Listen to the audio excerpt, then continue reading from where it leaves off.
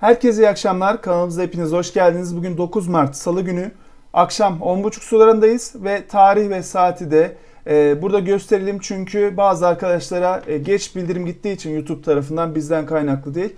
Bu sebeple e, dünkü, daha önce günkü hatta 3 gün önceki e, videoları izleyerek e, yanılabiliyorlar. Çünkü en son yaptığımız analiz geçerlidir arkadaşlar. E, ve birbiriyle ilişkili analizlerin en güncellerini izlemeniz ve öncekilerle bir, birbiri arasındaki bağlantıyı görmeniz gerekiyor. Ee, kanalımıza yeni gelen arkadaşlar için ve diğer arkadaşlar için bunu hatırlattıktan sonra e, dolar günlük kısa vadeli analizine başlıyoruz. Dün söylediğimiz noktalara bakarsak dolarda bir patlama meydana geldi demiştik. E, bu patlamadan kastımız da yine e, geçen hafta yaptığımız e, analizlerde dolar e, patlamak üzere demiştik. E, bir seviye vardı bizim için önemli olan nokta. Eğer o seviyeyi geçersek umarım patlamaz demiştim arkadaşlar.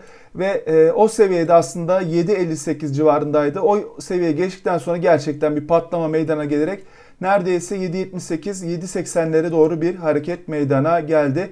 Ve dünkü analizde de dolar patladı. 7.73 7.74 hedefimiz vardı biliyorsunuz. Yeni hedefinde sizlere 7.81 olarak aktarmıştık eğer bu şekilde yolumuza devam edersek. Ve bu yükseliş trendinin e, devam etmesi ve 7.81 hedefinin e, var olması için koşulumuz şuydu. 7.60 üzerinde kaldıkça yükseliş trendimiz günlükte devam eder diye e, sizlere aktarmıştık. Yine destek dirençleri verip videomuzu tamamlamıştık. Şimdi arkadaşlar öncelikle şu özeti temizliyorum. Yaklaşıyorum. Yaklaştığımda bugün gördüğünüz gibi hem Twitter sayfamdan da sizlere yine sabah saatlerinde bazı bilgiler vermiştik. O bilgilerde bakın dolar 10 e, yıllıkları düşmeye başlamıştı sabah. E, tabii ki bu bir temel analiz e, olayı.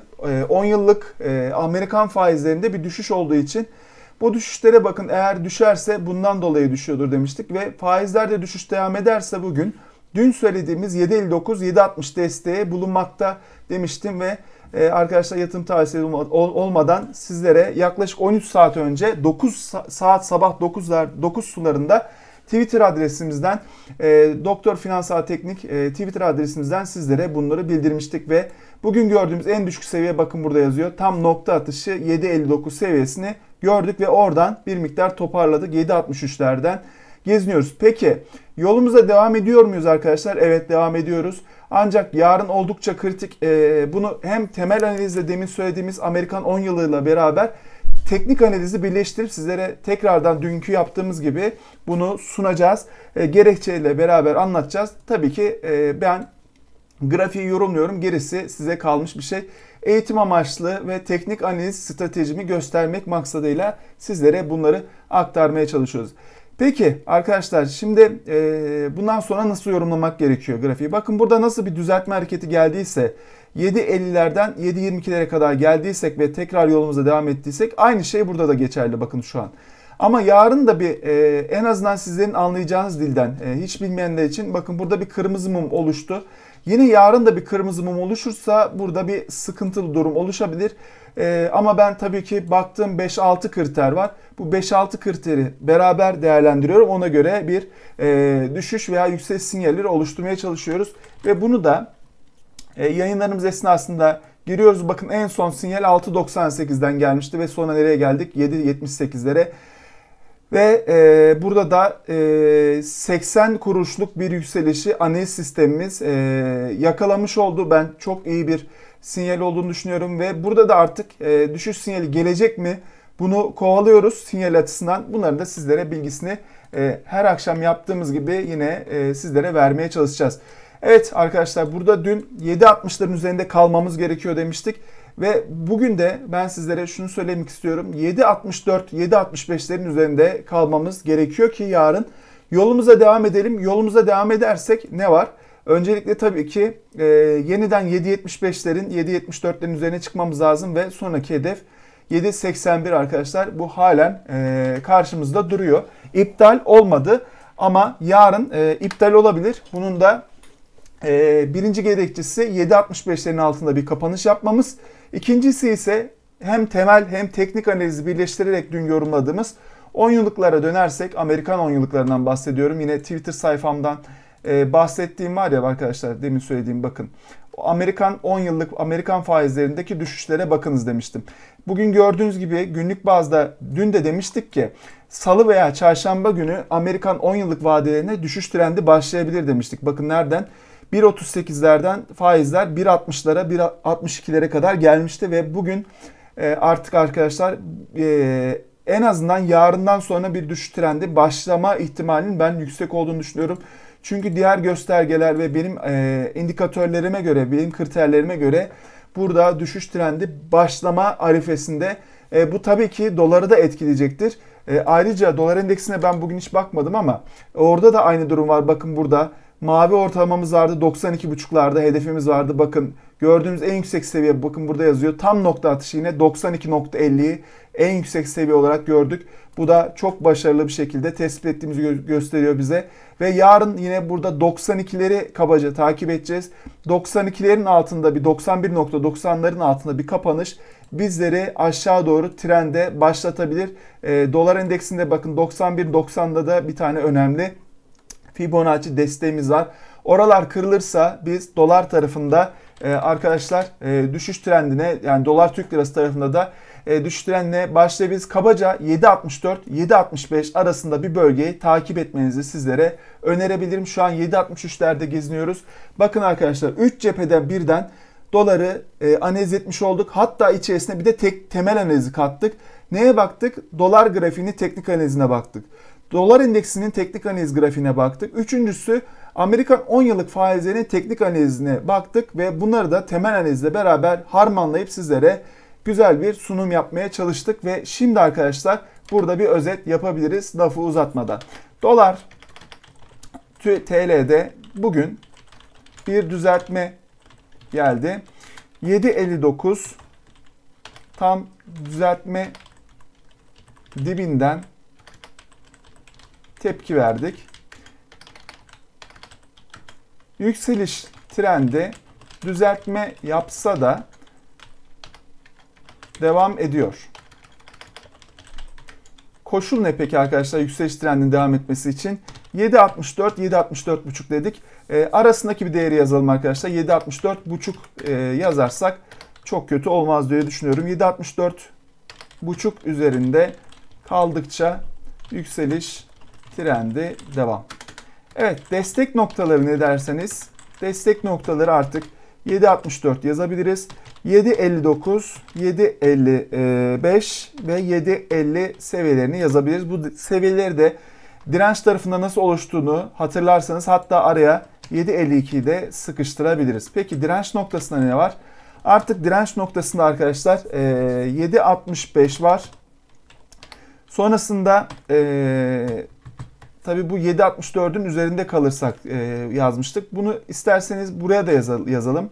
Veya 7.64'ü aynı şekilde geçirelim. Ve sonrasında direnç noktasında 7.72 var. 7.78 e, var ve 7.81 seviyeleri karşımıza çıkacak dirençler diye düşünüyorum. Evet arkadaşlar son olarak bir de 5 saatliğe bakalım daha kısa vadedeki duruma. Sonrasında da dolar tarafındaki analizimizi bitireceğiz. Evet 5 saatlik grafikte daha kısa vadede 7.72 seviyesinden ben e, düşüş trendine girildiğini düşünüyorum. Ve halen hareket e, aşağı doğru devam ediyor. E, 7.65'ler denemesinin ben e, yarın geleceğini düşünüyorum. Şu an 7.63'lerde bulunsak da bir miktar toparlarız diye düşünüyorum ben 7.65'lere doğru. Sonrasında karar verilecek artık orada 7.65'lerin üstü mü altı mı? Bu da e, sanki daha çok ihtimal daha büyük bir ihtimal arkadaşlar yarın olacakmış gibi. Bunları da sizlerle beraber takip edeceğiz. İndikatörler, indikatörlere baktığımda burada hoşuma gitmeyen durumlar var. O yüzden dikkatli olmanızı sizlere öneririm. Ee, ve tepeden risk almak konusunda sizlere iyi düşünmenizi tavsiye ederim arkadaşlar. Ee, eğer hareket devam ederse dediğimiz gibi 7.81 direncimiz var. Altta 7.65 7.60 e, bölgesi var. Bakalım neler olacak yarın sizlerle beraber izleyeceğiz. Evet şimdi Euro USD'ye bakabiliriz. Euro USD eğer dolar endeksi düştüyse ne olmalı? Yukarı doğru gitmesi lazım değil mi? Açıyoruz grafiği. Evet gördüğünüz gibi yukarı doğru gitmiş. Peki Euro Türk lirasında olması lazım. Euro Türk lirasının daha az düşmesi lazım. Evet daha az düşmüş e, dolar TL'ye göre. Burada da yükseliş trendinin devam ettiğini söyleyebiliriz. Kabaca 9 onların üzerinde kaldıkça Euro Türk lirasında da yükseliş trendi devam edecektir. Peki sterlin ne olmuş? Sterlinde de bir düzeltme hareketi var. Yine burada arkadaşlar e, kabaca takip etmemiz gereken seviyeyi 10.55 olarak görüyorum.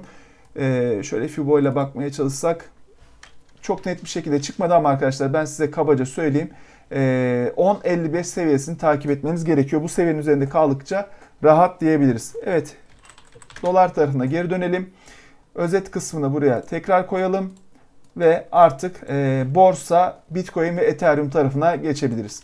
Borsaya geçiyorum arkadaşlar. Borsada evet e, son 2 gündür 3 gündür bir yatay hareket olsa da borsa tarafında bakın 1, 2, 3, 4 gün 5 gün hatta boyunca 154.700 seviyesi vardı hatırlarsanız bizim için önemli bir e, dirençti. Yine o seviyelerin üzerinde birazcık kapatsak da yine de hareket e, çok güçlü değil. E, ama yine de arkadaşlar şu an tehlikeli tarafta olmadığını söyleyebiliriz. Burada hareket sanki 156 e, bin, 157 bin bölgesine doğru hareket edecekmiş gibi gözüktü bana. E, birazcık daha iyi gözüküyor düne göre. Bitcoin tarafına döndüğümüzde e, burada yanlış grafik gözüküyor. Evet Bitcoin grafiğini açtık ve Bitcoin grafiğinde dün şunları söylemiştik arkadaşlar. Ee, çok güzel bir şekilde yine analiz sistemimize göre e, sinyallerimiz çalıştı. 52.500'lere doğru bir hareket bekliyorduk. Bakın o seviyenin de üzerine çıktık ve 55.000'lere doğru gidiyoruz. E, bu noktada bir miktar direnç yiyebilir. Hatta bunu birazcık daha e, hassas bir şekilde oturtturursak.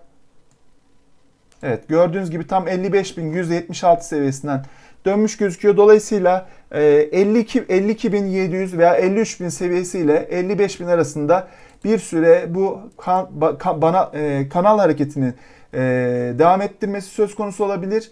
Ve arkadaşlar eğer orayı aşarsa artık e, ana hedefi 58 bin olur ve e, daha da hareketler güçlenir. E, daha da üst noktalar yeniden konuşulmaya başlanabilir ama tabii ki aceleci olmamak gerekiyor. Öncelikle bir 55 binlerin üzerinde bir kapanış gerekiyor. Sonrasında 58 binler karşımıza çıkabilir. Tabii bu birden olmayabilir. Bunu takip etmenizi sizlere öneririm. Peki Ethereum tarafına baktığımızda e, yine günlük bazda dün e, çizdiğimiz grafik burada duruyor. E, 1750'lere doğru bir hareket olabilir demiştik. Onun da üzerine çıkmış hareket ve burada da 1870'lere doğru bir hareket e, devam et, edecekmiş gibi gözüküyor ama e, şu anki harekete baktığımda sanki birazcık gevşeme gördüm. Dolayısıyla e, 1800'lere pardon arkadaşlar 1800'lere doğru bir Gevşeme olduktan sonra yeniden 1870'ler denemesini yapabilir. Burada da hareket e, şunu söyleyebilirim 1800'lerin üzerinde kaldıkça yükseliş hareketi devam edecek, edecektir diye sizlere söyleyebiliriz. E, Ethereum tarafında da durum iyi gözüküyor. Ve dolar grafiğine tekrar dönersek özetimizi şu şekilde karşınıza koyalım. Ve arkadaşlar yavaş yavaş burada videoyu tamamlayalım. E, teknik analiz eğitimimiz konusunda hevesli olan arkadaşlar varsa aşağıdaki sol alttaki adrese mail atarsanız teknikanalizft.gmail.com sizlere detaylı bilgi verecektir. E, arkadaşlar yarın e, bir ameliyat durumu olduğu için e, sizlere birkaç gün yayın yapamayabiliriz. Bu konuda bilginiz olmasını istiyorum. Görüşmek üzere. İyi akşamlar. Hoşçakalın.